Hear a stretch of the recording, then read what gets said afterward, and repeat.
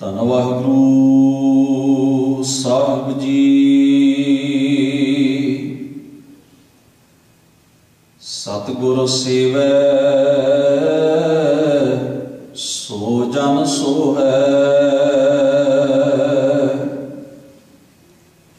ਅੰਮ੍ਰਿਤ ਨਾਮੋ ਅੰਤਰ ਮਨ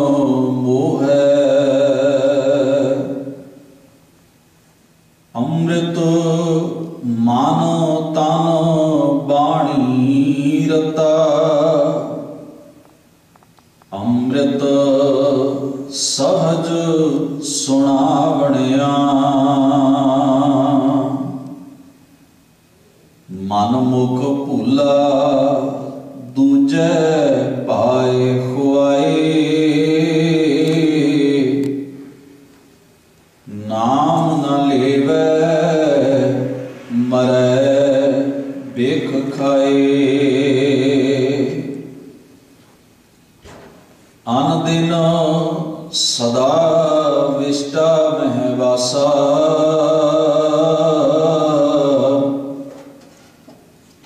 ਬਿਨ ਸੇਵਾ ਜਨਮ ਗਵਾਵਣਿਆ। ਅੰਮ੍ਰਿਤ ਪੀਵੈ ਜਿਸਨੋ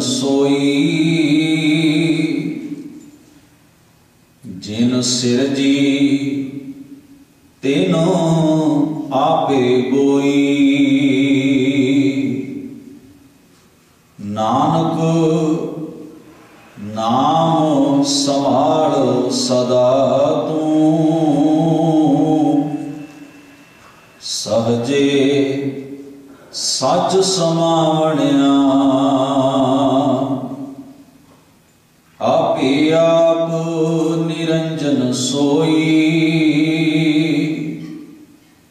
ਜਿਨ ਸਿਰਜੀ ਤਿਨ ਆਪੇ ਕੋਈ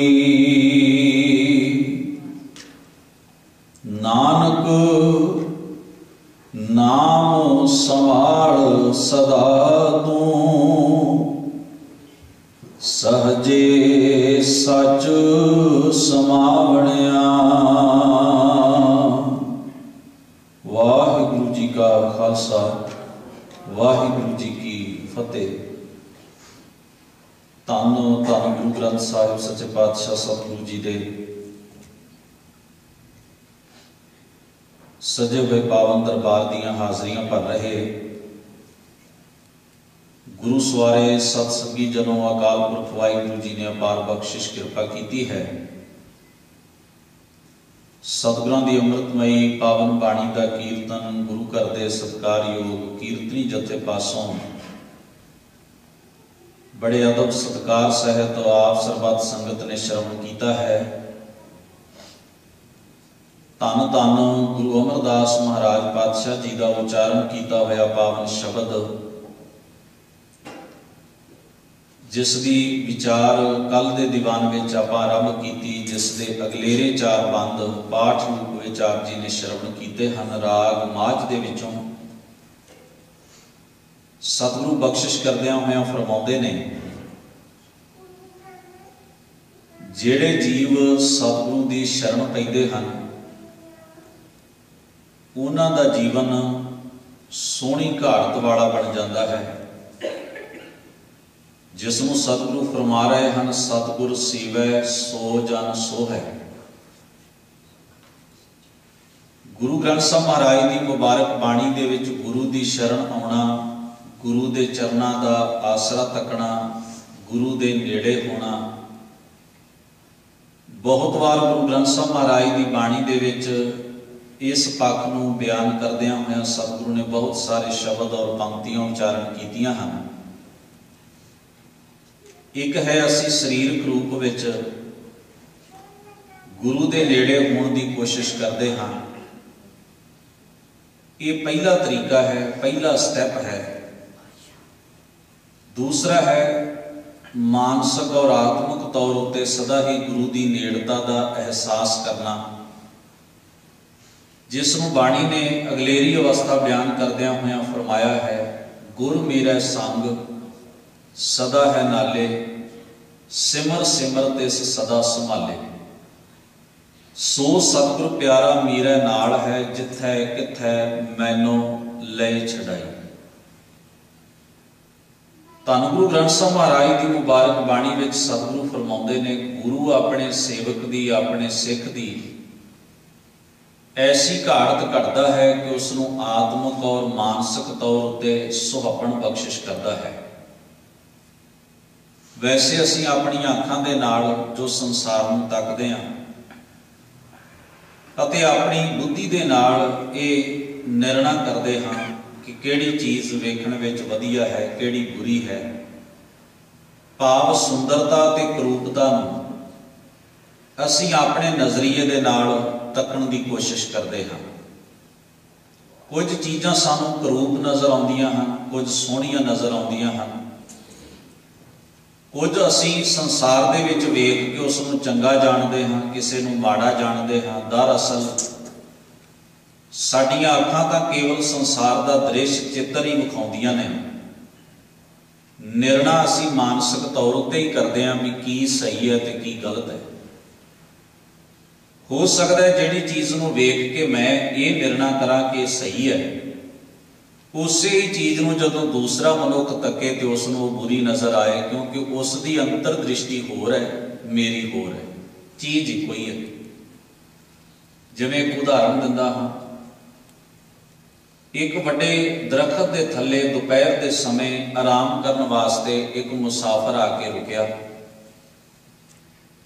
ਉਸਨੇ ਰਿਲੈਕਸ ਹੋਣ ਵਾਸਤੇ ਆਰਾਮ ਕਰਨ ਲਈ ਥੋੜਾ ਸਮਾਂ ਲੇਟਣਾ ਚਾਹਿਆ।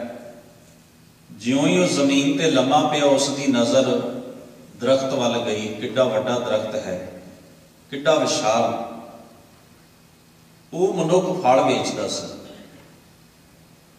ਉਸਨੇ ਸੋਚਿਆ, ਜਿੰਨਾ ਇਸ ਦਰਖਤ ਦਾ ਆਕਾਰ ਹੈ, ਜਿੱਡਾ ਵੱਡਾ ਇਸ ਦਾ ਕੱਦ ਕਾਠ ਹੈ, ਹਰਿਆ ਭਰਿਆ ਦਰਖਤ ਹੈ।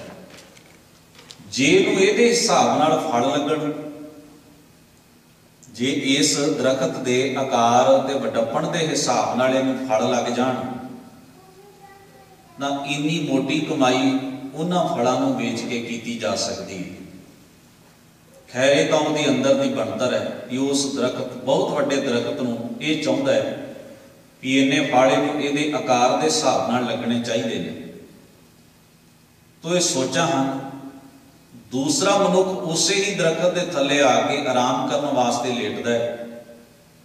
ਇਹ ਬੰਦਾ ਫਰਨੀਚਰ ਵੇਚਦਾ ਹੈ। ਇਸ ਨੇ ਵੇਖਿਆ ਐਡਾ ਵੱਡਾ ਦਰਖਤ ਹੈ, ਸੋਚਦਾ ਹੈ, ਜੇ ਇਸ ਨੂੰ ਪੁੱਟ ਦਿੱਤਾ ਜਾਏ, ਇਹਦੇ ਚੋਂ ਇੰਨੇ ਕ ਹਜ਼ਾਰ ਦੀ ਲੱਕੜ ਨਿਕਲ ਸਕਦੀ ਔਰ ਇੰਨਾ ਫਰਨੀਚਰ ਤਿਆਰ ਹੋ ਸਕਦਾ ਹੁਣ ਤੁਸੀਂ ਅੰਦਾਜ਼ਾ ਲਾਓ ਕਿ ਦਰਖਤ ਤੇ ਇੱਕੋ ਹੀ ਹੈ। ਵੇਖਣ ਵਾਲੇ ਉਸ ਨੂੰ ਦੋ ਹਨ। ਇੱਕ ਦੀ ਅੰਦਰ ਅੰਤਰ ਦਾ ਨਿਰਣਾ ਕਹਿੰਦਾ ਹੈ ਵੀ ਇਸ ਦਰਖਤ ਨੂੰ ਜੇ ਫਲ ਲੱਗ ਜਾਣ ਤੇ ਇੰਨੀ ਕਮਾਈ ਦੇ ਸਕਦਾ ਹੈ।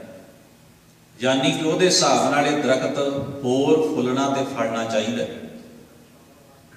ਦੂਸਰਾ ਮਨੁੱਖ ਇਹ ਨਿਰਣਾ ਕੱਢਦਾ ਹੈ ਵੀ ਜੇ ਇਸ ਨੂੰ ਪੁੱਟ ਦਿੱਤਾ ਜਾਏ, ਇਸ ਦੀ ਲੱਕੜ ਵੇਚਣ ਦਾ ਮੌਕਾ ਬਣੇ, ਉਸ ਤੋਂ ਫਰਨੀਚਰ ਬਣਾ ਕੇ ਵੇਚਣ ਦਾ ਮੌਕਾ ਬਣੇ, ਤਾਂ ਇੰਨੇ ਹਜ਼ਾਰ ਰੁਪਇਆ ਇਸ ਤੋਂ ਕਮਾਈ ਕੀਤੀ ਜਾ ਸਕਦੀ ਹੈ।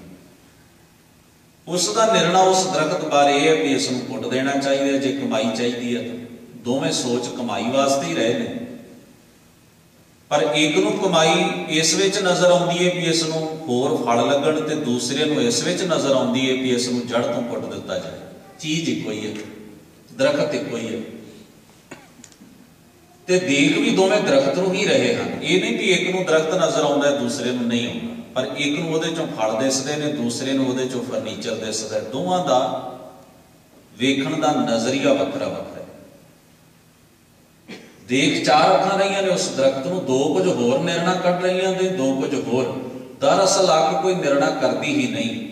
ਸਾਡਾ ਮਨ, ਸਾਡੀ ਸੁਰਤ ਨਿਰਣਾ ਕਰਦੀ ਹੈ ਜੋ ਕੁਝ ਸਾਡੇ ਅੰਦਰ ਚੱਲ ਰਿਹਾ ਹੋਵੇ, ਉਸੇ ਹਿਸਾਬ ਨਾਲ ਅਸੀਂ ਦੁਨੀਆ ਨੂੰ ਤੱਕਦੇ ਔਰ ਵੇਖਦੇ ਹਾਂ।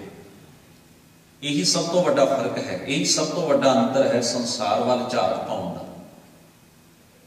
ਤੋ ਜਿੰਨਾ ਚਿਰ ਅਸੀਂ ਨਫ਼ਰਤ ਵਸ ਹਾਂ, ਈਰਖਾ ਵਸ ਹਾਂ, ਸਾਨੂੰ ਵੈਰੀ ਨਜ਼ਰ ਆਉਂਦੇ ਹਨ, ਮਿੱਤਰ ਨਜ਼ਰ ਆਉਂਦੇ ਹਨ, ਭੇਦ ਭਾਵ ਨਜ਼ਰ ਆਉਂਦਾ ਹੈ, ਇਹ ਸੰਸਾਰ ਨੂੰ ਤੱਕਣ ਦਾ ਇਹ ਸਾਡਾ ਸੁਭਾਅ ਹੈ।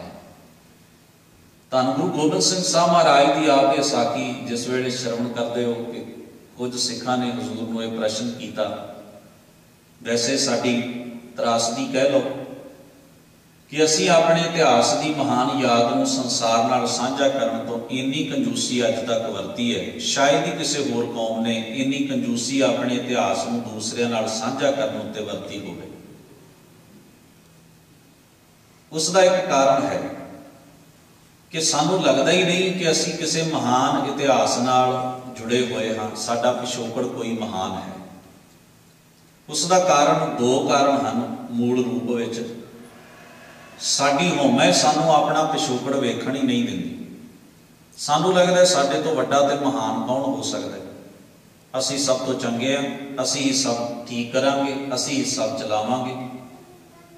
ਤੋ ਜਿਨ੍ਹਾਂ ਲੋਕਾਂ ਨੇ ਸਾਡੇ ਲਈ ਬਹੁਤ ਵੱਡੇ ਮਹਾਨ ਕੰਮ ਕੀਤੇ ਨੇ, ਉਹਨਾਂ ਵੱਲ ਤੱਕਣ ਦਾ ਮੌਕਾ ਹੀ ਨਹੀਂ ਬਣਦਾ ਕਿਉਂਕਿ ਅਸੀਂ ਆਪਣੀ ਤੰਗ ਦਿਲੀ ਤੋਂ ਬਾਹਰ ਆਈਏ ਤੇ ਦੂਸਰੇ ਨੂੰ ਵੇਖੀਏ। ਦੂਸਰਾ ਹੈ ਸਾਡਾ ਸਵਾਰਥ। ਜਿਸ ਅਵਸਥਾ ਵਿੱਚ ਅਸੀਂ ਜੀ ਰਹੇ ਹਾਂ, ਜੇ ਅਸੀਂ ਆਪਣੇ ਮਹਾਨ ਪੁਰਖਿਆਂ ਨੂੰ ਪੜ੍ਹਨਾ, ਵਿਚਾਰਨਾ ਸ਼ੁਰੂ ਕਰ ਦਿੱਤਾ, ਹੋ ਸਕਦਾ ਹੈ। ਅਸੀਂ ਆਪਣੇ ਆਪ ਵਿੱਚ ਸ਼ਰਮਿੰਦੇ ਹੋ ਜਾਈਏ। ਵੀ ਅਸੀਂ ਕਿੰਨਾਂ ਦੇ ਵਾਰਸਾਂ ਤੇ ਕਰ ਕੀ ਰਹੇ ਹਾਂ। ਇਹ ਦੋ ਮੂਲ ਕਾਰਨ ਜੋ ਮੇਰੀ ਸਮਝ ਵਿੱਚ ਆਉਂਦੇ ਨੇ, ਮੈਂ ਆਪਣੇ ਆਪ ਨੂੰ ਤੱਕਦਾ ਹਾਂ। ਵੀ ਮੇਰੀ ਹਉਮੈ ਤੇ ਮੇਰਾ ਸਵਾਰਥ ਮੈਨੂੰ ਆਪਣਾ ਪਿਛੋਕੜ ਸਮਝਣ ਤੇ ਵੇਖਣ ਹੀ ਨਹੀਂ ਦਿੰਦਾ। ਇਹ ਮੇਰੀ ਸਭ ਤੋਂ ਵੱਡੀ ਮੁਸ਼ਕਲ ਹੈ। ਹੋ ਸਕਦਾ ਤੁਹਾਡੀ ਵੀ ਹੋਵੇ। ਜੇ ਅਸੀਂ ਆਪਣੇ ਪਿਛੋਕੜ ਨੂੰ ਨਹੀਂ ਤੱਕਦੇ ਤੇ ਉਸ ਦਾ ਕਾਰਨ ਇਹ ਹੈ। ਖੈਰ ਸਵਿਟਜ਼ਰਲੈਂਡ ਦਾ ਸੀ ਸਰ ਹੈਨਰੀ ਡੁਨਾਟ 1901 ਦੇ ਵਿੱਚ ਇੱਕ ਲੜਾਈ ਹੋਈ, ਜਿਸ ਨੂੰ ਉਸਨੇ ਆਪਣੀਆਂ ਅੱਖਾਂ ਨਾਲ ਵੇਖਿਆ। ਉਸਨੇ ਇੱਕ ਕਿਤਾਬ ਲਿਖੀ। ਕਿਤਾਬ ਲਿਖਣ ਤੋਂ ਬਾਅਦ ਦੁਨੀਆ ਦੇ ਅੰਦਰ ਰੈੱਡ ਕਰਾਸ ਸੁਸਾਇਟੀ ਜਿਹੜੀ ਸੀ ਉਹ ਬਣਾਈ ਗਈ। ਉਸ ਕਿਤਾਬ ਨੂੰ ਲੋਕਾਂ ਨੇ ਪੜ੍ਹਿਆ। ਕਿਤਾਬ ਨੂੰ ਪੜ੍ਹਨ ਤੋਂ ਬਾਅਦ ਫਿਰ ਰੈੱਡ ਕਰਾਸ ਸੁਸਾਇਟੀ ਹੋਂਦ ਵਿੱਚ ਆਈ। ਦੁਨੀਆ 'ਚ ਕਿਤੇ ਵੀ ਜੰਗ ਲੱਗ ਜਾਏ, ਕੋਈ ਕੁਦਰਤੀ ਆਫਤ ਆ ਜਾਏ, ਤਕਰੀਬਨ ਦੁਨੀਆ ਦੇ ਕੁਝ ਕੁ ਮੁਠੀ ਭਰ ਲੋਕਾਂ ਨੂੰ, ਉਂਗਲਾਂ ਤੇ ਗਿਣੇ ਜਾਣ ਵਾਲੇ ਲੋਕਾਂ ਨੂੰ ਛੱਡ ਕੇ, ਦੁਨੀਆ ਦੇ ਸਾਰੇ ਹੀ ਮੁਲਕ ਜਿਹੜੇ ਹਨ, ਉਹ ਰੈੱਡ ਕਰਾਸ ਸੁਸਾਇਟੀ ਨੂੰ ਮਾਨਤਾ ਦੇ ਚੁੱਕੇ ਨੇ। ਔਰ ਉਹਨਾਂ ਦੇ ਵਲੰਟੀਅਰ ਹਰ ਮੁਲਕ ਦੇ ਵਿੱਚ ਮੌਜੂਦ ਨੇ।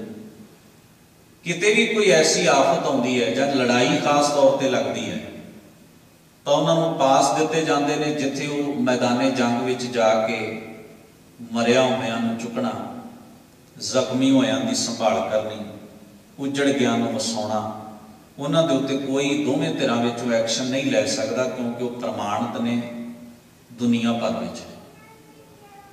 ਮੈਂ ਇਹ ਧਿਆਨ ਇਸ ਕਰਕੇ ਤੁਹਾਡਾ ਇਸ ਘਟਨਾ ਵੱਲ ਦਿਵਾਇਆ ਹੈ ਕਿ ਧੰਨ ਗੁਰੂ ਗੋਬਿੰਦ ਸਿੰਘ ਸਾਹਿਬ ਮਹਾਰਾਜ ਨੇ ਅਨੰਦਪੁਰ ਸਾਹਿਬ ਦੀ ਧਰਤ ਉੱਤੇ ਜੰਗਾਂ ਲੜੀਆਂ ਸਨ। ਇਹ ਜੰਗਾਂ ਉਹਨਾਂ ਦੇ ਨਾਲ ਲੜਨ ਵਾਸਤੇ ਤਾਕਤਵਰ ਸੱਤਾਧਾਰੀ ਧਿਰ ਬਾਰ-ਬਾਰ ਉਹਨਾਂ ਦੇ ਸਾਹਮਣੇ ਆ ਕੇ ਤਿਆਰ ਹੋ ਕੇ ਉਹਨਾਂ ਨੂੰ ਲਲਕਾਰਦੀ ਔਰ ਹਮਲਾਵਰ ਹੁੰਦੀ। ਤੋਂ ਉਹਨਾਂ ਨੂੰ ਜੰਗਾਂ ਲੜਨੀਆਂ ਪਈਆਂ। ਇਹ ਉਹਨਾਂ ਦਾ ਕੋਈ ਸ਼ੌਂਕ ਨਹੀਂ ਸੀ, ਮਜਬੂਰੀ ਸੀ। ਧੰਨ ਗੁਰੂ ਨਾਨਕ ਮਹਾਰਾਜ ਦੇ ਘਰ ਵਿੱਚ ਇੱਕ ਬੜੀ ਖਾਸ ਚੀਜ਼ ਹੈ। ਕਿ ਲੜਾਈ ਨੂੰ ਗੁਰਮਤ ਨੇ ਆਖਰੀ ਹਥਿਆਰ ਮੰਨਿਆ, ਆਖਰੀ। ਜਿੱਥੇ ਤੁਹਾਡੀ ਹੋਂਦ ਦੇ ਬਚਣ ਦਾ ਕੋਈ ਸਾਧਨ ਬਾਕੀ ਨਾ ਰਹਿ ਜਾਏ, ਤਾਂ ਫਿਰ ਸਤਿਗੁਰੂ ਕਹਿੰਦੇ ਨੇ, ਆਪਣੀ ਇੱਜ਼ਤ, ਆਪਣੀ ਆਬਰੂ, ਆਪਣੇ ਹੱਕ, ਆਪਣਾ ਅਧਿਕਾਰ ਔਰ ਆਪਣੀ ਹੋਂਦ ਕਾਇਮ ਰੱਖਣ ਲਈ ਫਿਰ ਤਾਂ ਪਸ਼ੂ ਵੀ ਲੜਦਾ ਹੈ, ਪੰਛੀ ਵੀ ਲੜਦਾ ਹੈ। ਫਿਰ ਤਾਂ ਤੁਹਾਡੇ ਕੋਲ ਆਖਰੀ ਇਹੋ ਹੀ ਹੀਲਾ ਰਹਿ ਜਾਂਦਾ।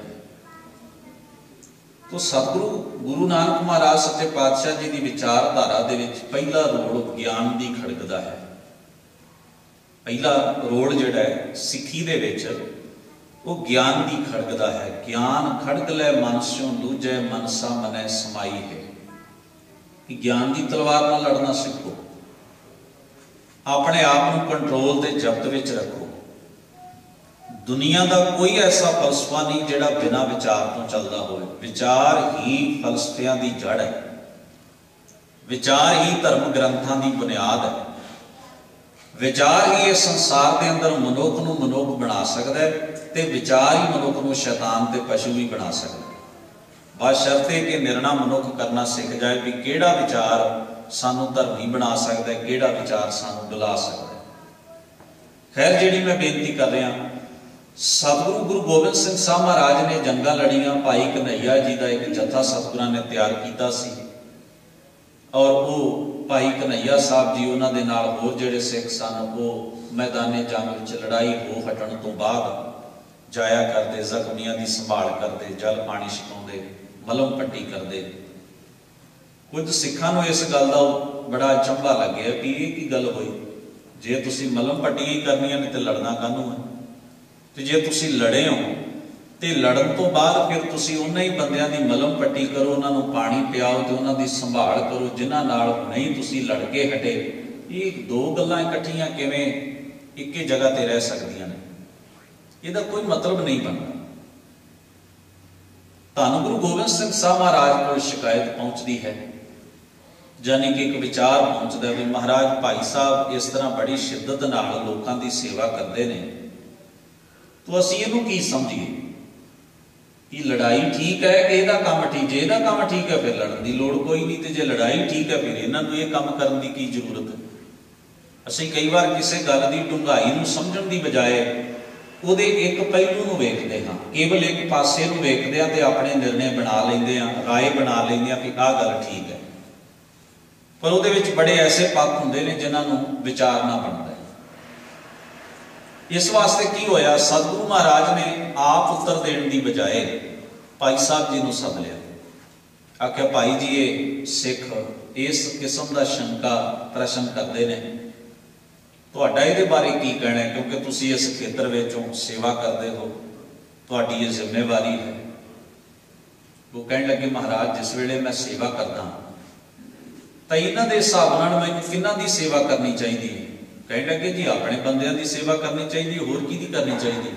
ਤੁਸੀਂ ਜੇ ਦੁਸ਼ਮਣਾਂ ਨੂੰ ਵੀ ਪਾਣੀ ਪਿਆਓਗੇ, ਉਹਨਾਂ ਦੀ ਵੀ ਮਲਮ ਪੱਟੀ ਕਰੋਗੇ, ਤਾਂ ਫਿਰ ਸਾਡੀ ਲੜਾਈ ਦਾ ਤੇ ਕੋਈ ਅਰਥ ਹੀ ਨਹੀਂ ਰਹਿ ਗਿਆ। ਸਾਡਾ ਜਾਨ ਤਲੀ ਤੇ ਰੱਖ ਕੇ ਮੈਦਾਨੇ ਜੰਗ ਅੰਦਰ ਲੜਨਾ ਤੇ ਆਪਣੀ ਜਾਨ ਖਤਰੇ 'ਚ ਪਾਉਣੀ, ਤੇ ਲੜਾਈ ਦਾ ਇੱਕੋ ਹੀ ਮਤ ਹੁੰਦਾ ਹੈ ਕਿ ਤੁਸੀਂ ਕਿਸੇ ਨਾ ਕਿਸੇ ਤਰ੍ਹਾਂ ਦੂਸਰੀ ਧਿਰ ਦਾ ਦਮਨ ਕਰੋ। ਉਹਦੇ ਉੱਤੇ ਕਾਬੂ ਪਾਓ ਜੇਤੂ ਅੰਦਾਜ਼ ਰੱਖੋ। ਭਾਈ ਸਾਹਿਬ ਕਹਿਣ ਲੱਗੇ, ਦਰਅਸਲ ਸੇਵਾ ਦਾ ਖੇਤਰ ਤਾਂ ਇਹ ਗੱਲ ਕਹਿੰਦਾ ਹੈ ਕਿ ਜਦੋਂ ਤੁਸੀਂ ਸੇਵਾ ਦੇ ਖੇਤਰ ਵਿੱਚ ਕਦਮ ਰੱਖਦੇ ਹੋ ਤੇ ਇਹ ਭੁੱਲ ਜਾਓ ਕਿ ਕੌਣ ਤੁਹਾਡਾ ਆਪਣਾ ਨਜ਼ਦੀਕੀ ਹੈ ਤੇ ਕੌਣ ਬੇਗਾਨਾ ਹੈ। ਸੇਵਾ ਪਹਿਲੀ ਇਸ ਚੀਜ਼ ਦੀ ਮੰਗ ਕਰਦੀ ਹੈ। ਜੇ ਤੁਸੀਂ ਇਹ ਫ਼ਰਕ ਕਰਦੇ ਹੋ ਕਿ ਇਹ ਮੇਰਾ ਹੈ, ਇਹ ਬੇਗਾਨਾ ਹੈ, ਇਹ ਪਰਾਇਆ ਹੈ, ਇਹ ਦੁਸ਼ਮਣ ਹੈ, ਤਾਂ ਇਹਦਾ ਭਾਵ ਹੈ ਤੁਸੀਂ ਸੇਵਾ ਨਹੀਂ ਕਰ ਰਹੇ। ਤੁਸੀਂ ਬੇਗਾਨਿਆਂ ਨੂੰ ਨਫ਼ਰਤ ਕਰਕੇ ਛੱਡ ਦਿਓਗੇ ਤੇ ਆਪਣਿਆਂ ਦੇ ਪੱਖ ਪੂਰਦੇ ਰਹੋਗੇ। ਇਹਦਾ ਮਤਲਬ ਤੁਸੀਂ ਸੇਵਾ ਨਹੀਂ ਕਰ ਰਹੇ, ਤੁਸੀਂ ਇੱਕ ਤਰ੍ਹਾਂ ਦੀ ਧੜੇਬੰਦੀ ਸੇਵਾ ਦੇ ਰਾਹੀਂ ਪੈਦਾ ਕਰਦੇ ਹੋ। ਸੇਵਾ ਦਾ ਤਾਂ ਭਾਵ ਹੈ ਸਭਨਾਂ ਨੂੰ ਸਮਾਨ ਵਰਤਣਾ, ਇੱਕੋ ਜਿਹਾ ਜਾਣਨਾ ਇਹ ਫ਼ਰਕ ਹੀ ਨਹੀਂ ਵੀ ਕੌਣ ਕਿਸ ਤਰ੍ਹਾਂ ਦਾ ਹੈ, ਕਿੱਥੋਂ ਆਇਆ ਹੈ ਕੀ ਪਿਛੋਕੜ ਹੈ ਉਹਦਾ। ਸਵਾਲ ਇਹ ਵੀ ਇਹ ਲੋੜਵੰਦ ਹੈ, ਇਹਦੀ ਹੈਲਪ ਇਹਦੀ ਮਦਦ ਹੋਣੀ ਚਾਹੀਦੀ ਤਾਂ ਕੀਤੀ, ਧਰਮ ਦਾ ਇਹ ਕੀਤਾ ਬੜੀ ਸਾਫ਼ ਸਾਫ਼ ਗੋਈ ਦੇ ਨਾਲ। ਸਤਿਗੁਰੂ ਮਹਾਰਾਜ ਨੂੰ ਭਾਈ ਸਾਹਿਬ ਜੀ ਨੇ ਆ ਕੇ ਕਹਿਣ ਲੱਗੇ, ਮਹਾਰਾਜ, ਮੈਨੂੰ ਤਾਂ ਸਾਰੇ ਤੁਹਾਡੇ ਹੀ ਨਜ਼ਰ ਆਉਂਦੇ ਨੇ। ਜਿਸ ਵੇਲੇ ਕੋਈ ਪਿਆਸਾ ਪਾਣੀ ਦੀ ਮੰਗ ਕਰਦਾ ਹੈ, ਜ਼ਖਮੀ ਜਿਸ ਵੇਲੇ ਕੋਈ ਹਾਏ ਚੀਕ ਪੁਕਾਰ ਕਰਦਾ ਹੈ, ਤਾਂ ਮੈਨੂੰ ਉਹਨਾਂ ਦੇ ਦਰਦ ਵਿੱਚ ਕੋਈ ਫ਼ਰਕ ਨਜ਼ਰ ਨਹੀਂ ਆਉਂਦਾ ਵੀ ਸਿੱਖ ਦੇ ਦਰਦ ਵਿੱਚ ਜਾਂ ਸਾਡੇ ਵਿਰੋਧ ਵਿੱਚ ਲੜਨ ਵਾਲਿਆਂ ਦੇ ਦਰਦ ਵਿੱਚ ਕੋਈ ਫ਼ਰਕ ਹੋਵੇ। ਹਾਂ, ਇੰਨਾ ਜ਼ਰੂਰ ਹੈ ਕਿ ਉਸ ਦਰਦ ਨੂੰ ਪ੍ਰਗਟ ਕਰਨ ਲਈ ਕੋਈ ਵਾਹਿਗੁਰੂ ਕਹਿ ਲੈਂਦਾ ਹੋਏਗਾ ਤੇ ਕੋਈ ਅੱਲਾ ਕਹਿ ਲੈਂਦਾ ਹੋਏਗਾ, ਕੋਈ ਭਗਵਾਨ ਕਹਿ ਲੈਂਦਾ ਹੋਏਗਾ, ਕੋਈ ਹਾਏ ਕਹਿ ਲੈਂਦਾ ਹੋਏਗਾ, ਪਰ ਦਰਦ ਮੈਨੂੰ ਸਾਰਿਆਂ ਦੇ ਇੱਕੋ ਜਿਹੇ ਨਜ਼ਰ ਆਉਂਦੇ ਜਦੋਂ ਮੈਂ ਮਹਿਸੂਸ ਕਰਦਾ ਨਾ ਵੀ ਇਹ ਬੰਦਾ ਜੋ ਜ਼ੁਬਾਨ ਤੋਂ ਚੀਕ ਰਿਹਾ ਹੈ, ਪੁਕਾਰ ਰਿਹਾ ਹੈ, ਇਹਦੇ ਤੇ ਦੂਸਰੇ ਦੇ ਦਰਦ ਵਿੱਚ ਕੋਈ ਫ਼ਰਕ ਨਹੀਂ, ਦਰਦ ਨੂੰ ਦੋਵੇਂ ਇੱਕੋ ਜਿਹਾ ਮਹਿਸੂਸ ਕਰਦੇ ਨੇ, ਦਰਦ ਨੂੰ ਪ੍ਰਗਟ ਕਰਨ ਦੇ ਢੰਗ ਵੱਖਰੇ ਵੱਖਰੇ ਨੇ। ਦਰਦ ਨੂੰ ਪ੍ਰਗਟ ਕਰਨ ਦੇ ਲਹਿਜ਼ੇ ਵੱਖਰੇ ਨੇ ਬਾਤ ਸ਼ਰਤੇ ਦਰਦ ਇੱਕੋ ਜਿਹਾ ਹੀ ਹੈ। ਪਿਆਸ ਵੀ ਇੱਕੋ ਜਿਹੀ ਹੈ, ਜਿਹੋ ਜੀ ਪਿਆਸ ਇਹਨੂੰ ਲੱਗ ਰਹੀ ਹੋ ਜੀ ਉਹਨੂੰ ਲੱਗ ਰਹੀ। ਤੋਂ ਮੈਂ ਤਾਂ ਪਿਆਸੇ ਨੂੰ ਪਾਣੀ ਪਿਉਣ ਵਾਸਤੇ ਗਿਆ। ਪਿਆਸ ਦੇ ਅੰਤਰ ਕੱਢਣੇ, ਉਸ ਜਗ੍ਹਾ ਦੇ ਉੱਤੇ ਮੇਰੇ ਵੱਸ ਦੀ ਖੇਡ ਹੀ ਨਹੀਂ। ਮੈਂ ਤਾਂ ਦਰਦਵੰਦ ਦਾ, ਦਰਦ ਵੰਡਾਉਣ ਵਾਸਤੇ ਗਿਆ। ਦਰਦ ਨੂੰ ਡਿਫਾਈਨ ਕਰਨਾ, ਦਰਦ ਨੂੰ ਦੋ ਧਿਰਾਂ ਦੇ ਵਿੱਚ ਵੰਡਣਾ ਵੀ ਇਹਦਾ ਦਰਦ ਜ਼ਿਆਦਾ ਹੈ ਤੇ ਇਹਦਾ ਦਰਦ ਘੱਟ ਹੈ। ਇਹ ਨਿਰਣੇ ਉਸ ਵਕਤ ਬੁੱਧੀ ਨਹੀਂ ਕਰ ਸਕਦੀ।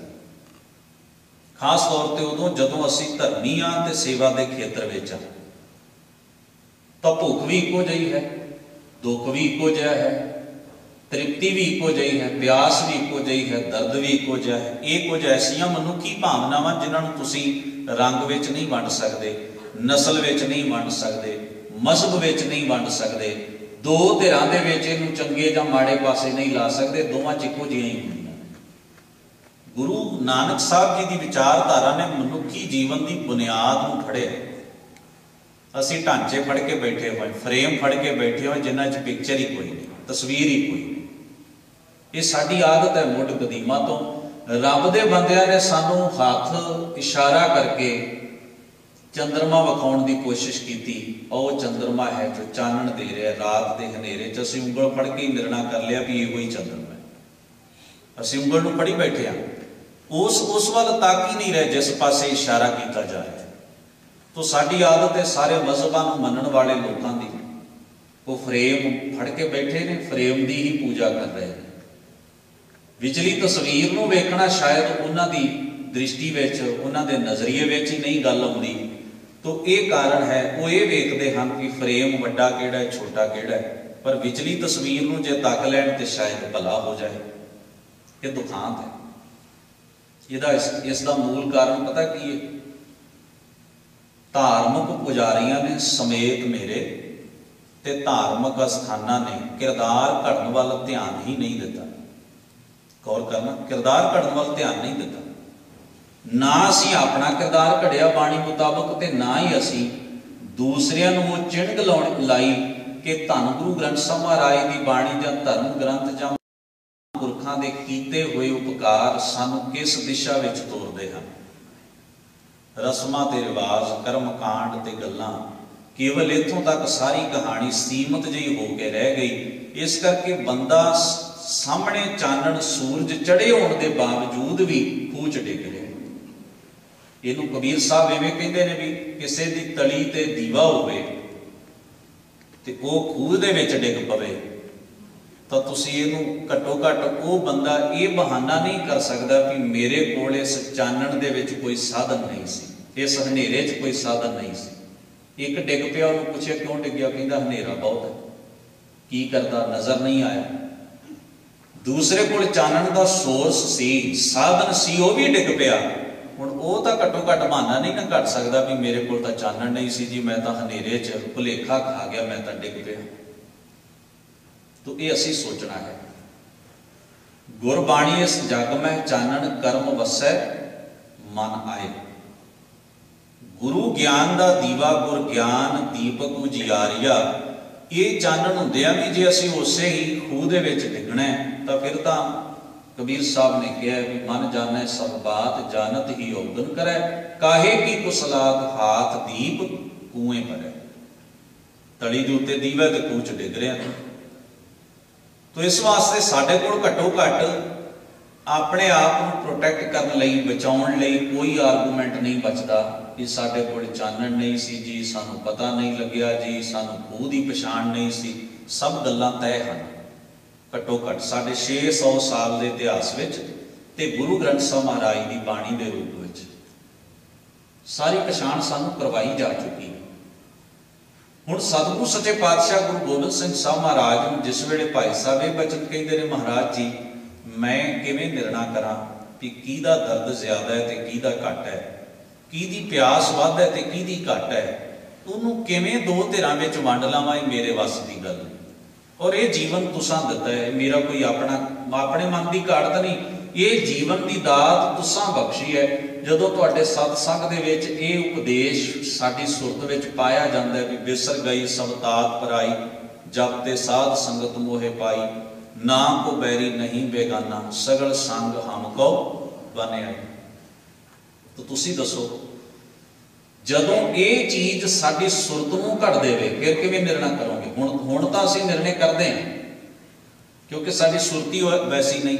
ਸਾਡੀ ਬਿਰਤੀ ਵਿੱਚ ਇਹ ਚੀਜ਼ ਨਹੀਂ। ਪਰ ਜੇ ਸੁਰਤ ਵਿੱਚ ਇਹ ਚੀਜ਼ ਆਪਣਾ ਪ੍ਰਭਾਵ ਪਾ ਦੇਵੇ ਤੇ ਸੁਰਤ ਇਹਦੇ ਮੁਤਾਬਕ ਢਲ ਜਾਏ, ਫਿਰ ਤੁਸੀਂ ਸੋਚ ਕੇ ਵੇਖੋ ਘੱਟੋ ਘੱਟ ਵੀ ਉਸ ਲੈਵਲ ਤੇ ਪਹੁੰਚ ਕੇ ਤੁਸੀਂ ਕਿਵੇਂ ਨਿਰਣੇ ਕਰੋਗੇ। ਸ਼ੇਖ ਫਰੀਦ ਸਾਹਿਬ ਜੀ ਜਿੱਥੇ ਗੱਲ ਕਹਿੰਦੇ ਨੇ, ਮੰਦਾ ਕਿਸ ਨੂੰ ਆਖੀ ਹੈ, ਜਾਂ ਤਿਸ ਬਿਨ ਕੋਈ ਨਾ। ਕਿ ਤੇਰੇ ਤੋਂ ਬਿਨਾ ਦੂਜੀ ਕੋਈ ਹਸਤੀ, ਮੈਂ ਕਿਸੇ ਨੂੰ ਰੰਗ ਰੰਗ ਕਰਕੇ, ਨਸਲ ਕਰਕੇ ਜਾਂ ਇਸ ਕਰਕੇ ਵੀ ਇਹਨੂੰ ਮੇਰੇ ਨਾਲੋਂ ਘੱਟ ਪਤਾ ਹੈ, ਜਾਂ ਇਸ ਕਰਕੇ ਵੀ ਇਹ ਮੇਰੇ ਨਾਲੋਂ ਧਰਮ ਕਰਮ ਘੱਟ ਕਰਦਾ ਹੈ। ਮੈਂ ਨਫ਼ਰਤ ਨਹੀਂ ਕਰ ਸਕਦਾ ਕਿਸੇ ਨਾਲ। ਗੌਰ ਕਰਨਾ, ਇੱਕ ਗਿਆਨਵਾਨ ਬੰਦਾ ਜਦੋਂ ਘੱਟ ਗਿਆਨ ਵਾਲੇ ਨਾਲ ਨਫ਼ਰਤ ਕਰਦਾ ਹੈ, ਤੇ ਸਮਝੋ ਉਸ ਤੋਂ ਵੱਡਾ ਮੂਰਖ ਹੀ ਕੋਈ ਨਹੀਂ। ਉਹਨੇ ਸਾਰੇ ਗਿਆਨ ਚੋਂ ਇਹ ਚੀਜ਼ ਸਿੱਖੀ ਹੈ ਵੀ ਨਫ਼ਰਤ ਕਰਨੀ ਚਾਹੀਦੀ ਹੈ। ਜੇ ਕਿਸੇ ਮਨੁੱਖ ਨੇ ਰੱਬ ਨੂੰ ਯਾਦ ਕਰਦਿਆਂ ਹੋਇਆਂ ਇਹ ਦਾਵਾ ਕਰਦਿਆਂ ਵੀ ਮੈਂ ਰੱਬ ਨੂੰ ਯਾਦ ਕਰਦਾ, ਤੇ ਰੱਬ ਨੂੰ ਯਾਦ ਕਰਦਿਆਂ ਕਰਦਿਆਂ ਜਿਹੜਾ ਬੰਦਾ ਉਹਦੇ ਵਰਗੇ ਧਰਮ ਕਰਮ ਨਹੀਂ ਕਰਦਾ, ਜੋ ਉਹਨੂੰ ਹਰ ਵੇਲੇ ਭੰਡ ਦਾ ਨਿੰਦਦਾ ਹੀ ਰਹਿੰਦਾ ਹੈ। ਇਹਦਾ ਮਤਲਬ ਉਹਨੇ ਆਪਣੇ ਸਾਰੇ ਧਾਰਮਿਕ ਪ੍ਰੋਸੈਸ ਵਿੱਚੋਂ ਇਹੋ ਹੀ ਸਿੱਖਿਆ ਵੀ ਨਫ਼ਰਤ ਹੀ ਕਰਨੀ ਨਿਚੋੜਦਾ ਇਹੀ ਹੈ। ਜੋ ਜੀ ਰਿਹਾ ਨਿਚੋੜਦੇ ਹੀ ਹੈ। ਬਸ ਗੁਰੂ ਨਾਨਕ ਮਹਾਰਾਜ ਵੱਲ ਵੇਖੋ। ਸਤਿਗੁਰੂ ਗੁਰੂ ਨਾਨਕ ਮਹਾਰਾਜ ਨੇ ਸੱਜਣ ਠੱਗ ਨਾਲ ਨਫ਼ਰਤ ਨਹੀਂ ਕੀਤੀ। ਧਰਮੀ ਬੰਦਾ ਨਫ਼ਰਤ ਬੇਸਿਕਲੀ ਕਰਦਾ ਹੀ ਨਹੀਂ। ਹਾਂ, ਗੁਰੂ ਮਹਾਰਾਜ ਨੂੰ ਦੀ ਠੱਗੀ ਪਸੰਦ ਨਹੀਂ ਜੇ ਉਹਦੇ ਨਾਲ ਨਫ਼ਰਤ ਹੁੰਦੀ ਕਦੇ, ਵੈਸੇ ਕੋਈ ਵੀ ਠੱਗ ਕਿਸੇ ਨੂੰ ਸੁਨੇਹਾ ਨਹੀਂ ਘੱਲਦਾ ਹੁੰਦਾ ਵੀ ਮੈਨੂੰ ਆ ਕੇ ਸੁਧਾਰੋ। ਕਿਉਂਕਿ ਠੱਗ ਕਦੇ ਮੰਨਦਾ ਹੀ ਨਹੀਂ ਵੀ ਮੈਂ ਗਲਤ ਹਾਂ। ਚੋਰ ਕਦੇ ਮੰਨਦਾ ਹੀ ਨਹੀਂ ਵੀ ਮੈਂ ਗਲਤ ਹਾਂ। ਸਤਿਗੁਰੂ ਗੁਰੂ ਗ੍ਰੰਥ ਸਾਹਿਬ ਮਹਾਰਾਜ ਦੀ ਬਾਣੀ ਵਿੱਚ ਆਪਾਂ ਪੜ੍ਹਦੇ ਹਾਂ ਕਿ ਭਾਵੇਂ ਚੋਰ ਦੀ ਹਾਮੀ ਕੋਈ ਵੀ ਨਾ ਭਰਨ ਵਾਲਾ ਹੋਵੇ, ਫਿਰ ਵੀ ਉਹ ਆਪਣੇ ਆਪ ਨੂੰ ਬਚਾਉਣ ਲਈ ਬਹੁਤ ਆਰਗੂਮੈਂਟ ਕਰਦਾ ਜੇ ਉਹਨੂੰ ਹੋਰ ਕੋਈ ਦਲੀਲ ਨਾ ਨਾ ਸੁਝੇ ਤਾਂ ਇਹ ਕਹਿ ਦਿੰਦਾ, ਮੈਂ ਜਾਣਦਾ ਸਾਰਿਆਂ ਨੂੰ ਜਿੰਨੇ ਕੁ ਦੁੱਧ ਧੋਤੇ ਨੇ। ਤੇ ਬਹੁਤ ਵੱਡੀ ਦਲੀਲ ਹੁੰਦੀ ਹੈ। ਦੂਸਰਿਆਂ ਦੇ ਮੂੰਹ ਬੰਦ ਕਰ ਲਈ ਵੀ ਜੇ ਮੇਰੀ ਗੱਲ ਛੇੜੋਗੇ ਤੇ ਤੁਹਾਡੀ ਵੀ ਛੇੜ ਸਕਦਾ। ਇਸ ਕਰਕੇ ਭਲਾ ਇਹੋ ਹੀ ਹੈ ਵੀ ਨਾ ਤੁਸੀਂ ਮੇਰੀ ਗੱਲ ਛੇੜੋ, ਨਾ ਮੈਂ ਤੁਹਾਡੀ ਗੱਲ ਛੇੜਾਂ, ਤੁਸੀਂ ਵੀ ਸੇਫ ਤੇ ਮੈਂ ਵੀ ਸੇਫ। ਜੇ ਹੋਰ ਕੁਝ ਨਾ ਸੁਝਿਆ, ਤਾਂ ਕੋਈ ਝੂਠੀ ਗੱਲ ਤਾਂ ਅਫਵਾਹ ਤਾਂ ਕਿਸੇ ਬਾਰੇ ਫੈਲਾਈ ਹੀ ਜਾ ਸਕਦੀ ਹੈ। ਬੜਾ ਵੱਡਾ ਹਥਿਆਰ ਹੈ। ਆਦ ਕਾਲ ਤੋਂ ਲੈ ਕੇ ਅੱਜ ਤੱਕ। ਮੰਨ ਲਓ, ਮੈਂ ਚੁਰਾਹੇ ਵਿੱਚ ਖਲੋਤਾ, ਕਿਸੇ ਨੂੰ ਕਹਿ ਦਿਆਂ ਵੀ ਇਹ ਚੋਰ ਹੈ। ਤੇ ਮੈਂ ਇੰਨੀ ਗੱਲ ਕਹਿ ਕੇ ਖਿਸਕ ਜਾਣਾ, ਸਫ਼ਾਈ ਤੇ ਉਹਨੇ ਦੇਣੀ ਹੈ ਸਾਰੀ ਉਮਰ। ਮੇਰਾ ਗਿਆ ਕੱਖ ਨਹੀਂ, ਉਹਦਾ ਸਮਾਂ ਕਿੰਨਾ ਵੇਸਟ ਹੋਏਗਾ? ਗੱਲ ਕਹਿਣ ਦਾ ਕੀ ਹੈ? ਸਮਝਣਾ ਇਸ ਗੱਲ ਤੋਂ ਚਾਦਰ ਲੋਕਾਂ ਕੋਲ ਬਹੁਤ ਹਥਿਆਰ ਹੁੰਦੇ ਨੇ, ਦੂਸਰਿਆਂ ਦੇ ਲਈ, ਆਪਣੇ ਪੱਖ ਨੂੰ ਬਚਾਉਣ ਲਈ। ਤੋਂ ਇਹ ਅੰਦਰ ਹੈ ਗੁਰੂ ਨਾਨਕ ਮਹਾਰਾਜ ਨੂੰ ਉਹਦੀ ਠੱਗੀ ਪਸੰਦ ਨਹੀਂ, ਪਰ ਗੁਰੂ ਨਾਨਕ ਜੇ ਠੱਗੀ ਪਸੰਦ ਨਹੀਂ ਤੇ ਫਿਰ ਫਰਜ਼ ਕੀ ਬਣਿਆ ਵੀ ਮੈਂ ਇਹਦੀ ਠੱਗੀ ਨੂੰ, ਇਹਦੀ ਚੋਰੀ ਨੂੰ, ਇਸ ਬੰਦੇ ਦੇ ਗੁਨਾਹ ਨੂੰ ਇਹਦੇ ਨਾਲੋਂ ਵੱਖ ਕਰ ਦੇ। ਜਿਹੜੀ ਚੀਜ਼ ਮੈਨੂੰ ਪਸੰਦ ਨਹੀਂ, ਉਹ ਮੈਂ ਇਹਦੇ ਜੀਵਨ 'ਚ ਵੇਖਣਾ ਨਹੀਂ ਚਾਹੁੰਦਾ। ਤਾਂ ਮੇਰੀ ਡਿਊਟੀ ਇਹ ਬਣ ਗਈ ਵੀ ਮੈਂ ਉਸ ਤੋਂ ਭੱਜਾਂ ਨਾ, ਉਹਨੂੰ ਫੇਸ ਕਰਾਂ, ਉਹਦਾ ਸਾਹਮਣਾ ਕਰਾਂ। ਕਿਉਂਕਿ ਮੈਂ, ਮੇਰਾ ਧਰਮ ਕੋਈ ਬੁਰਾਈ ਤੋਂ ਡਰ ਕੇ ਭੋਰੇ ਵਿੱਚ ਲੁਕ ਜਾਣ ਦਾ ਧਰਮ ਨਹੀਂ। ਮੇਰਾ ਧਰਮ ਹੈ ਸੰਘਰਸ਼ ਦਾ ਧਰਮ। ਮੈਦਾਨ ਵਿੱਚ ਡਟ ਜਾਣ ਦਾ ਧਰਮ। ਤੁਸੀਂ ਉਸ ਸੂਰਮੇ ਨੂੰ ਕੀ ਆਖੋਗੇ ਜਿਹੜਾ ਮੈਦਾਨੇ ਜੰਗ ਵਿੱਚ ਹਥਿਆਰ ਲੈ ਕੇ ਉਤਰਦਾ ਤੇ ਸਾਹਮਣੇ ਵਾਲੇ ਵਾਲੇ ਵੇਖ ਕੇ ਭੱਜ ਜਾਂਦਾ ਹੈ? ਜਦੋਂ ਤੁਸੀਂ ਉਹਨੂੰ ਵੇਖਦੇ ਹੋ, ਤੁਸੀਂ ਆਖੋਗੇ, ਹੱਦ ਹੋ ਗਈ। ਇਹਨੇ ਦਮ ਗਜੇ ਮਾਰਨ ਦੀ ਕੀ ਲੋੜ ਸੀ? ਇਹਨੇ ਹਥਿਆਰ ਪਹਿਲਾਂ ਤਿੱਖੇ ਕਰਦਾ ਰਿਹਾ ਨਾਰੇ ਲਾਉਂਦਾ ਰਿਹਾ ਤੇ ਜਦੋਂ ਲੜਨ ਦੀ ਵਾਰੀ ਆਈ, ਉਹ ਮੈਦਾਨ ਛੱਡ ਕੇ ਭੱਜ ਗਿਆ। ਤੋ ਅਸੀਂ ਜਿਸ ਵੇਲੇ ਗੁਰਮਤ ਦਾ ਪਾਠ ਲੈਂਦੇ ਆ ਗੁਰੂ ਗ੍ਰੰਥ ਸਾਹਿਬ ਮਹਾਰਾਜ ਕੋਲੋਂ ਤੇ ਸਤਿਗੁਰੂ ਸਾਨੂੰ ਕੀ ਕਹਿੰਦੇ ਨੇ? ਵਾਗ ਵਜਨ ਟੰਮਕ ਭੇਰੀਆਂ, ਮਲ ਲੱਥੇ ਲੈਂਦੇ ਫੇਰੀਆਂ। ਨਿਹਤੇ ਪੰਜ ਜਵਾਨ ਮੈਂ ਗੁਰ ਥਾਪੀ ਦਿੱਤੀ, ਕੰਡ ਜੀਓ। ਹਾਂ, ਇਹ ਹੋ ਸਕਦਾ ਵੀ, ਹੋ ਸਕਦਾ ਸਾਹਮਣੇ ਵਾਲਾ ਮੈਨੂੰ ਮੇਰੀ ਬੁਰਾਈ ਨੂੰ ਮੇਰੇ ਅੰਦਰੋਂ ਨਾ ਕੱਢ ਸਕੇ।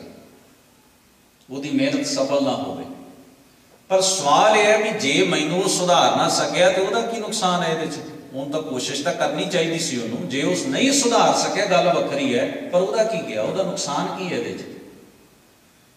ਇਹ ਅੰਤਰ ਹੈ?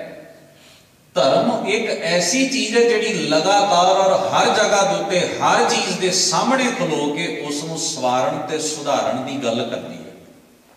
ਮੈਂ ਬੇਨਤੀ ਕਰ ਰਿਹਾ ਸਾਂ ਵੀ ਨਾ ਤਾਂ ਭੂਬੀਏ ਚੋਰ ਨੇ ਸੁਨੇਹਾ ਦਿੱਤਾ ਵੀ ਮਹਾਰਾਜ ਮੈਨੂੰ ਸੁਧਾਰਨ ਆਓ। ਨਾ ਮਲਕ ਭਾਗੋ ਨੇ। ਨਾ ਸੱਜਣ ਠੱਗ ਨੇ, ਨਾ ਨੂਰ ਸ਼ਾ ਜਾਦੂਗਰਨੀ ਨੇ ਜਿਹੜੇ ਜਾਦੂ ਟੂਣੇ ਕਰਨ ਵਾਲੀਆਂ ਔਰਤਾਂ ਹੁੰਦੀਆਂ ਨੇ। ਨਾ ਉਹਨੇ ਸੁਨੇਹਾ ਦਿੱਤਾ। ਮਹਾਰਾਜ ਆਪ ਚੱਲ ਕੇ ਗਏ। ਸਾਰੇ ਸੁੱਖ, ਆਰਾਮ, ਜੀਵਨ ਦੇ ਛੱਡ ਕੇ, ਘਰ ਪਰਿਵਾਰ ਦੀਆਂ ਸਹੂਲਤਾਂ ਨੂੰ ਛੱਡ ਕੇ ਉਹਨਾਂ ਕੋਲ ਪਹੁੰਚ ਗਏ ਔਰ ਜਾ ਕੇ ਗੁਰੂ ਨਾਨਕ ਮਹਾਰਾਜ ਪਾਤਸ਼ਾਹ ਨੇ ਉਹਨਾਂ ਨੂੰ ਉਪਦੇਸ਼ ਦਿੱਤਾ।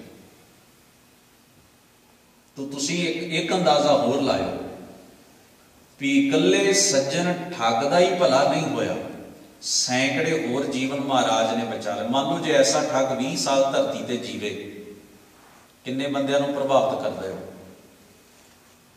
ਇੱਕ ਚੋਰ ਜੇ 30 ਸਾਲ ਹੋਰ ਜੀਂਦਾ ਹੈ ਧਰਤੀ ਦੇ ਉੱਤੇ, ਤਾਂ ਉਹ ਆਪਣੇ ਜੀਵਨ ਵਿੱਚ ਘੱਟੋ ਘੱਟ ਕਿੰਨੀਆਂ ਚੋਰੀਆਂ ਕਰਦਾ ਤੇ ਉਸ ਚੋਰੀ ਦੀ ਐਵਰੇਜ ਅੱਗੇ ਕੱਢ ਲਓ ਵੀ ਜੇ ਕਿਸੇ ਘਰੋਂ ਉਹ ਮਿਹਨਤ ਦੀ ਕੋਈ ਚੀਜ਼ ਚੁੱਕ ਲੈਂਦਾ ਤੇ ਉਹ ਪਰਿਵਾਰ ਕਿੰਨਾ ਪਛਾਣ ਚਲਿਆ ਜਾਂਦਾ ਤੁਸੀਂ ਅੰਦਾਜ਼ਾ ਲਾਓਗੇ, ਕੇਵਲ ਇੱਕ ਚੋਰ ਦੀ ਚੋਰੀ ਹੀ ਨਹੀਂ ਸੁਧਰੀ, ਉਹਨੂੰ, ਉਹਦੀ ਚੋਰੀ ਦੀ ਆਦਤ ਹੀ ਨਹੀਂ ਛੁੱਟੀ, ਉਹਨੂੰ ਧਰਮੀ ਹੀ ਨਹੀਂ ਬਣਾਇਆ, ਬਲਕਿ ਕਿੰਨੀਆਂ ਜ਼ਿੰਦਗੀਆਂ। ਇਹਦੇ ਚ ਤੁਸੀਂ ਕੈਲਕੂਲੇਟ ਕਰਨਾ ਵੀ ਜਿਹੜੇ ਉਸ ਬੰਦੇ ਦੇ ਸ਼ਿਕਾਰ ਹੋਣ ਤੋਂ ਬਚ ਗਏ ਲੋਕ, ਉਹਨਾਂ ਨੂੰ, ਤੇ ਜਿਨ੍ਹਾਂ ਦਾ ਉਹਨਾਂ ਨੇ ਭਲਾ ਕੀਤਾ ਹੋਏਗਾ 30 ਸਾਲ ਦੀ ਜ਼ਿੰਦਗੀ ਚ ਉਹਨਾਂ ਨੂੰ ਡਬਲ ਕੈਲਕੂਲੇਟ ਕਰ ਲੈਣਾ।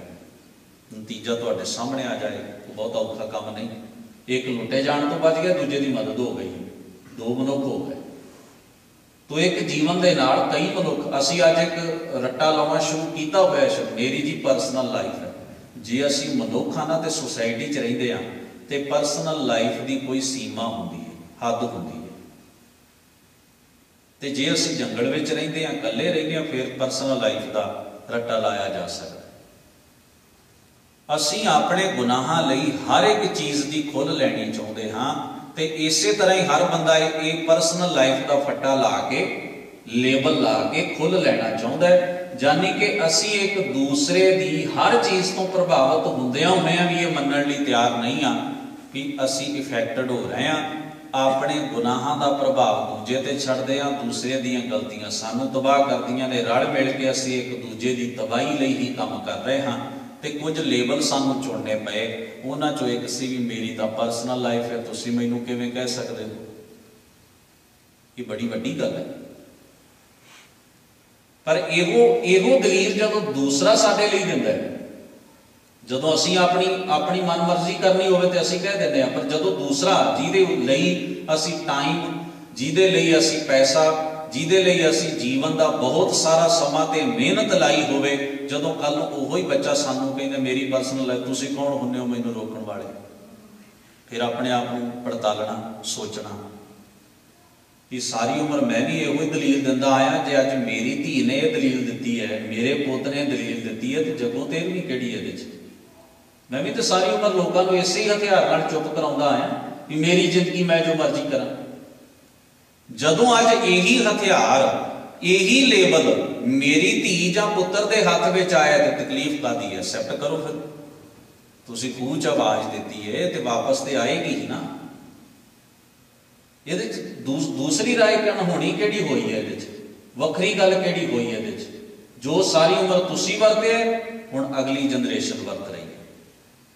ਤਾਂ ਕਬੂਲ ਕਰਨਾ ਸਿੱਖਣਾ ਚਾਹੀਦਾ ਜੇ ਅਸੀਂ ਚਾਹੁੰਦੇ ਹਾਂ ਵੀ ਇਹ ਠੀਕ ਹੈ, ਤਾਂ ਕਬੂਲ ਕਰੋ। ਫਿਰ ਹੋਣਾ ਕਾਹਦਾ? ਫਿਰ ਇਸ ਵਿੱਚ ਦੁੱਖ ਕਾਦਾ ਬਣਾਉਣਾ ਔਰ ਇਸ ਕਰਕੇ ਧੰਨ ਗੁਰੂ ਗ੍ਰੰਥ ਸਾਹਿਬ ਮਹਾਰਾਜ ਦੀ ਮੁਬਾਰਕ ਬਾਣੀ ਨੇ ਇੱਕ ਵਚਨ ਸਾਡੇ ਵੱਲ ਸਿੱਧਤ ਕਰਦਿਆਂ ਹੋਇਆਂ ਫਰਮਾਇਆ, ਦੱਦੈ ਦੋਸ਼ ਨਾ ਦੇਵੂ ਕਿਸੈ, ਦੋਸ਼ ਕਰਮਾ ਆਪਣਿਆ, ਜੋ ਮੈਂ ਕੀਆ, ਸੋ ਮੈਂ ਪਾਇਆ, ਦੋਸ਼ ਨਾ ਦੀਜੈ ਵਰਜਨ। ਜੋ ਮੈਂ ਕੀਆ, ਸੋ ਮੈਂ ਪਾਇਆ, ਦੋਸ਼ ਨਾ ਦੀਜੈ ਵਰਜਨ। ਤੋ ਸਤਿਗੁਰੂ ਗੁਰੂ ਨਾਨਕ ਮਹਾਰਾਜ ਪਾਤਸ਼ਾਹ ਜੀ ਦੀ ਮਹੱਤਤਾ ਇਹ ਹੈ ਕਿ ਉਹਨਾਂ ਨੇ ਮਨੁੱਖੀ ਜੀਵਨ ਨੂੰ ਤੇ ਮਨੁੱਖੀ ਜੀਵਨ ਨਾਲ ਜੁੜੀ ਹੋਈ ਬੁਰਾਈ ਨੂੰ ਅਲੱਗ-ਅਲੱਗ ਪਹਿਲੂ ਤੋਂ ਵੇਖਿਆ ਜਿਵੇਂ ਡਾਕਟਰ ਬਿਮਾਰੀ ਨੂੰ ਤੇ ਬਿਮਾਰ ਨੂੰ। ਉਹ ਬੰਦੇ ਦੇ ਸਰੀਰ ਦੀ ਚੀਰ ਫਾੜ ਵੀ ਕਰਦਾ ਹੈ, ਪਰ ਉਹਦੇ ਪਿੱਛੇ ਵੀ ਮਕਸਦ ਉਹਦਾ ਕੇਵਲ ਉਹਨੂੰ ਬਚਾਉਣਾ ਹੀ ਹੁੰਦਾ ਹੈ।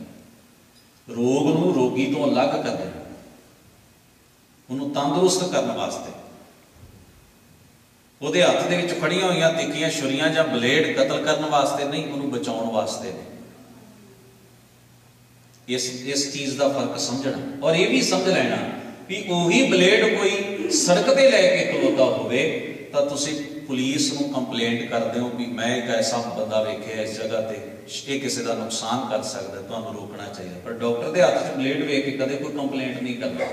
ਕਿਉਂਕਿ ਸਾਰਿਆਂ ਨੂੰ ਪਤਾ ਹੈ ਇਹ ਨਾ ਤਾਂ ਸੜਕ ਤੇ ਖਲੋਤਾ ਹੈ ਤੇ ਨਾ ਇਹ ਕਾਤਲ ਹੈ, ਇਹ ਤਾਂ ਕਿਸੇ ਦਾ ਆਪਰੇਸ਼ਨ ਕਰਨ ਲੱਗਿਆ ਉਹਨੂੰ ਠੀਕ ਕਰਨ ਵਾਸਤੇ।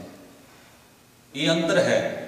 ਇੱਕ ਉਹ ਵਿਚਾਰ ਹੈ ਜਿਹੜਾ ਅਸੀਂ ਦੂਸਰੇ ਨੂੰ ਨੀਵਾ ਵਿਖਾਉਣ ਲਈ, ਖਤਮ ਕਰਨ ਲਈ ਡੈਡ ਕਰਨ ਲਈ ਆਪਣਾ ਵਿਚਾਰ ਦੂਜੇ ਸਾਹਮਣੇ ਰੱਖਦੇ ਹਾਂ। ਇੱਕ ਉਹ ਵਿਚਾਰ ਹੈ ਜਿਹੜਾ ਕਿਸੇ ਦੇ ਸੁਧਾਰ ਲਈ ਦਿੱਤਾ ਜਾ ਰਿਹਾ। ਦੋਵਾਂ ਦੇ ਵਿੱਚ ਬਹੁਤ ਵੱਡਾ ਅੰਤਰ ਹੁੰਦਾ ਹੈ।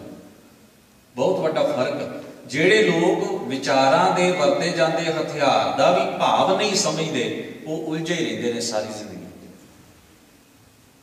ਉਹ ਲੋਕ ਵੀ ਧਰਮ ਗ੍ਰੰਥੀ ਹੀ ਪੜ੍ਹ ਰਹੇ ਸਨ, ਜਿਹੜੇ ਫਤਵੇ ਦੇ ਰਹੇ ਸਨ, ਕਾਜ਼ੀ।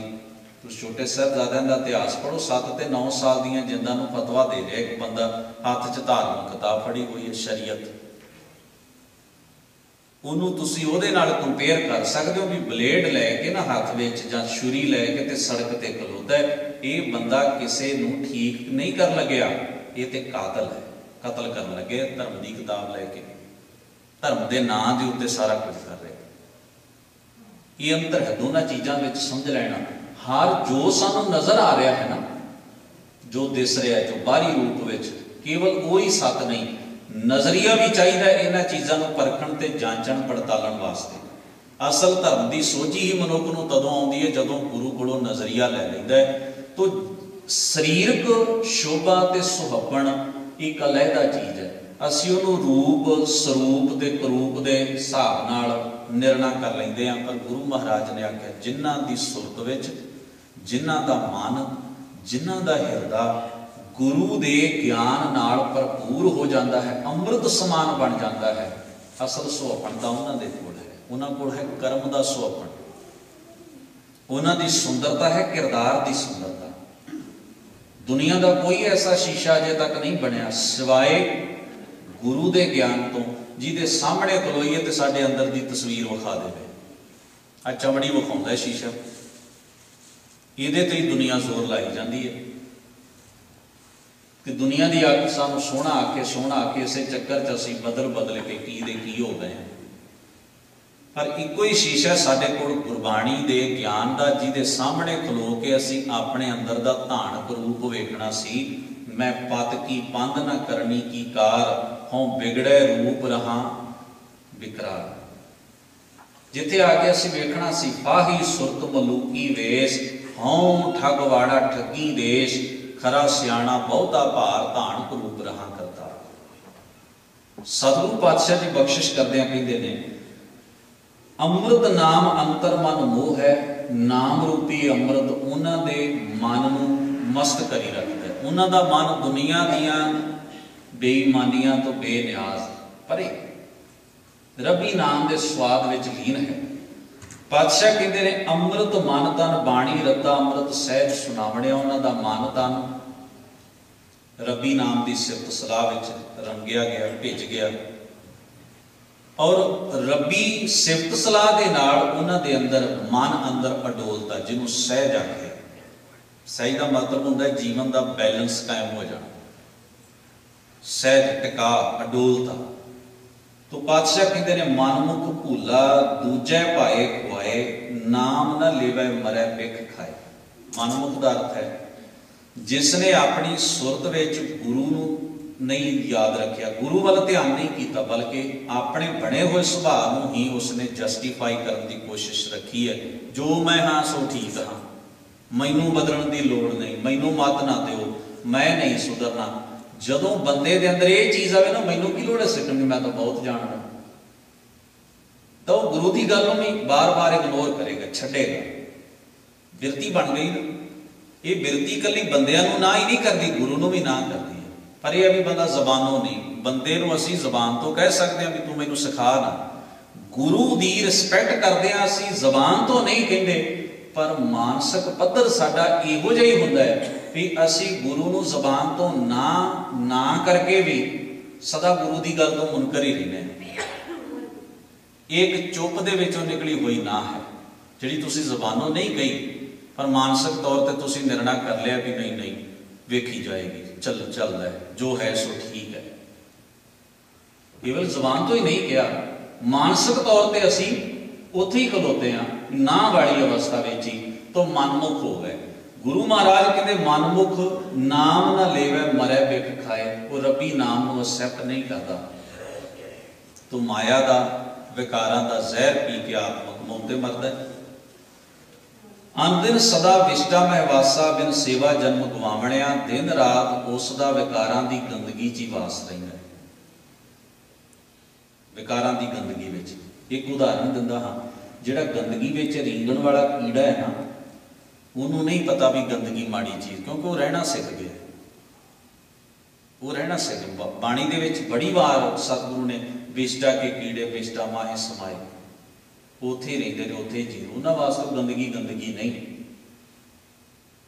ਇਸ ਵਾਸਤੇ ਕੀ ਹੁੰਦਾ ਹੈ? ਗੁਰੂ ਮਹਾਰਾਜ, ਕਿਉਂਕਿ ਗੁਰੂ ਸਾਹਿਬ ਏਡੀ ਉੱਚੀ ਜਗ੍ਹਾ ਉੱਤੇ ਖਲੋਤੇ ਨੇ, ਸੰਸਾਰ ਨੂੰ ਵੇਖ ਰਹੇ ਨੇ। ਉਹਨਾਂ ਦੀ ਕੋਸ਼ਿਸ਼ ਹੈ, ਮੈਂ ਇਸ ਬੰਦੇ ਨੂੰ ਗੰਦਗੀ ਤੋਂ ਬਾਹਰ ਕੱਢ ਕੇ ਇਹਨੂੰ ਜੀਣਾ ਸਿਖਾਵਾਂ। ਇਹਨੂੰ ਸਮਝ ਤੇ ਆਵੇ ਵੀ ਗੰਦਗੀ ਦੀ ਜ਼ਿੰਦਗੀ ਕਿੱਡੀ ਮਾੜੀ ਹੈ ਸਾਨੂੰ ਨਹੀਂ ਲੱਗਦੀ। ਸੱਚੀ ਗੱਲ ਹੈ ਵੀ ਸਾਨੂੰ ਨਹੀਂ ਲੱਗਦੀ, ਕਿਉਂਕਿ ਅਸੀਂ ਜੀਣਾ ਸਿੱਖ ਗਏ ਉਹਦੇ ਵਿੱਚ ਹੀ ਰਹਿੰਦੇ ਆ, ਉਹਦੇ 'ਚ ਹੀ ਜੀਂਦੇ ਆ। ਨਾ ਸਾਨੂੰ ਈਰਖਾ ਬੁਰੀ ਲੱਗਦੀ ਹੈ, ਨਾ ਨਫ਼ਰਤ ਬੁਰੀ ਲੱਗਦੀ ਹੈ, ਨਾ ਭੇਦ ਭਾਵ ਬੁਰਾ ਲੱਗਦਾ ਹੈ, ਨਾ ਕਾਮ ਦੇ ਚਸਕੇ ਬੁਰੇ ਲੱਗਦੇ, ਨਾ ਕ੍ਰੋਧ ਲੱਗਦਾ ਹੈ, ਨਾ ਨਸ਼ਾ ਲੱਗਦਾ ਹੈ। ਹਰ ਚੀਜ਼ ਸਾਨੂੰ ਚੰਗੀ ਲੱਗ ਰਹੀ ਹੈ। ਗੁਰੂ ਕਹਿੰਦਾ, ਨਹੀਂ, ਇਹ ਤਾਂ ਇਹ ਤਾਂ ਗੰਦਗੀ ਹੈ। ਜਿਹੜਾ ਇਸ ਤੋਂ ਬਾਹਰ ਹੋ ਕੇ ਫੇਰ ਇਹਨੂੰ ਵੇਖਦਾ ਹੈ, ਨਾ ਉਹ ਆਖਦਾ ਹੈ, ਹੱਦ ਹੋ ਗਈ। ਅੱਜ ਤੱਕ ਕਿਸੇ ਦੱਸਿਆ ਹੀ ਨਾ ਵੀ ਅਸੀਂ ਗੰਦਗੀ 'ਚ ਜੀ ਰਹੇ ਹਾਂ। ਫ਼ਰਕ ਹੈ, ਇੱਕ ਵਾਰ ਬਾਹਰੋਂ ਹੋ ਕੇ ਇਸ ਨੂੰ ਵੇਖਣ ਵਿੱਚ ਹੀ ਰਹਿੰਦੇ ਇਸ ਕਰਕੇ ਕਦੇ ਮਹਿਸੂਸ ਨਹੀਂ ਹੋਈ। ਬਾਹਰੋਂ ਖਲੋ ਕੇ ਇਸ ਨੂੰ ਵੇਖੋਗੇ ਤੇ ਹੈਰਾਨ ਰਹਿ ਜਾਓਗੇ। ਗੁਰੂ ਕਿੱਡਾ ਉਪਕਾਰ ਕਰਨ ਵਾਸਤੇ ਸਾਨੂੰ ਆਵਾਜ਼ਾਂ ਦੇ ਰਿਹਾ ਹੈ। ਗਰੀਬ ਨਵਾਜ ਪਾਤਸ਼ਾਹ ਜੀ ਕਹਿੰਦੇ ਨੇ, ਬਿਨ ਸੇਵਾ ਜਨਮ ਗਵਾਵਣਿਆ, ਬਿਨਾ ਨੇਕੀ ਤੋਂ ਮਨੁੱਖ ਆਪਣਾ ਜੀਵਨ ਵਿਅਰਥ ਗਵਾਰਿਆ ਹੈ। ਅੰਮ੍ਰਿਤ ਪੀਵੈ ਜਿਸ ਨੂੰ ਆਪ ਪੀਆਏ ਗੁਰ ਪ੍ਰਸਾਦੀ ਸਹਿਜ ਲਿਵ ਲਾਏ। ਪੂਰਨ ਪੂਰ ਰਹਿਆ, ਸੁਵਿਆਪੇ ਗੁਰਮਤ ਨਦਰੀ ਆਵਣੇ ਤੋ ਇਹ ਨਾਮ ਅੰਮ੍ਰਿਤ ਦੀ ਦਾਤ, ਉਹਨਾਂ ਨੂੰ ਸਿਫਤ ਸਲਾਹ ਮਿਲਦੀ ਹੈ ਰੱਬੀ ਗੁਣਾ ਦੀ ਦਾਤ, ਜਿਸ ਉੱਤੇ ਉਹ ਆਪ ਬਖਸ਼ਿਸ਼ ਤੇ ਕਿਰਪਾ ਕਰਦਾ ਹੈ। ਗੁਰੂ ਦੀ ਕਿਰਪਾ ਨਾਲ ਆਤਮਕ ਅਡੋਲਤਾ ਵਿੱਚ ਟਿਕ ਕੇ ਉਹਨਾਂ ਦੀ ਲਗਨ ਕਰਤੇ ਦੇ ਗੁਣਾ ਨਾਲ ਲੱਗ ਜਾਂਦੀ ਹੈ। ਸਤਿਗੁਰੂ ਕਹਿੰਦੇ, ਫਿਰ ਉਹਨਾਂ ਨੂੰ ਸਮਝ ਆਉਂਦੀ ਹੈ ਵੀ ਉਹ ਕਰਤਾ ਸਾਰੀਆਂ ਜੀਵਾਂ ਦੇ ਵਿੱਚ, ਸਾਰੀ ਕੁਦਰਤ ਵਿੱਚ ਵਿਆਪਕ ਹੈ।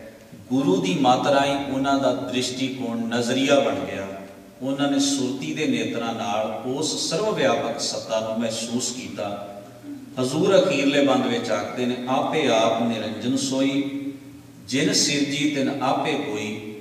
ਹਰ ਜਗ੍ਹਾ ਤੇ ਉਹਦੀ ਹੋਂਦ, ਕੇਵਲ ਉਸ ਦੀ ਹੋਂਦ ਮੌਜੂਦ ਹੈ, ਜੋ ਮਾਇਆ ਦੇ ਪ੍ਰਭਾਵ ਤੋਂ ਪਰੇ ਹੈ, ਜੋ ਸਿਰਜਣ ਵਾਲਾ ਹੈ, ਉਹਦੇ ਹੁਕਮ ਵਿੱਚ ਹੀ ਸਭ ਕੁਝ ਨਾਸ਼ ਹੁੰਦਾ ਹੈ। ਸਤਿਗੁਰੂ ਕਹਿੰਦੇ, ਨਾਨਕ, ਨਾਮ ਸੰਭਾਲ ਸਦਾ ਤੂੰ। हे ਨਾਨਕ, ਉਸ ਕਰਤੇ ਦੇ ਨਾਮ ਨੂੰ ਸਦਾ ਚੇਤੇ ਵਿੱਚ ਮਨ 'ਚ ਵਸਾ ਕੇ ਰੱਖ ਸਹਿਜੇ ਸੱਚ ਸਮਾਵਣਿਆ ਗੁਰੂ ਦੇ ਉਪਦੇਸ਼ ਦੀ ਕਮਾਈ ਕਰਕੇ ਅਡੋਲ ਅਵਸਥਾ ਹਾਸਲ ਕਰਕੇ ਹੀ ਉਸ ਪਰਮ ਸੱਚ ਵਿੱਚ ਸੁਰਤ ਕਰਕੇ, ਮਨ ਕਰਕੇ, ਹਿਰਦਾ ਕਰਕੇ ਸਮਾਇਆ ਜਾਂਦਾ ਹੈ। ਜੀਵ ਸਮਾ ਜਾਂਦਾ ਹੈ ਸਤਿਗੁਰੂ ਕਿਰਪਾ ਕਰਨ, ਹੋਈਆਂ ਭੁੱਲਾਂ ਚੁੱਕਾਂ ਦੀ ਸਤਿਗੁਰੂ ਕਿਮਾ ਬਖਸ਼ਿਸ਼ ਕਰਨ, ਸਭਨਾਂ ਦਾ ਧੰਨਵਾਦ। ਅਦਬ ਸਾਹਿਬ ਨੂੰ ਫਤਿਹ ਨਾਲ ਸਾਂਝ ਬਣਾਓ। ਵਾਹਿਗੁਰੂ ਜੀ ਕਾ ਖਾਲਸਾ। ਵਾਹਿਗੁਰੂ ਜੀ